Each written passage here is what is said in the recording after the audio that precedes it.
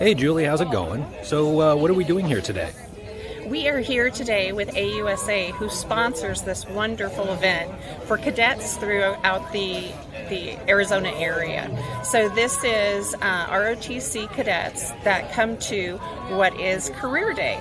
So as you walk around, you're going to see all forms of military represented here that are talking to high school seniors and juniors take a look around and see what the presentation is here today. It's really pretty awesome to see what AUSA pulls together and what they sponsor to bring these kids an opportunity to talk with various recruiters.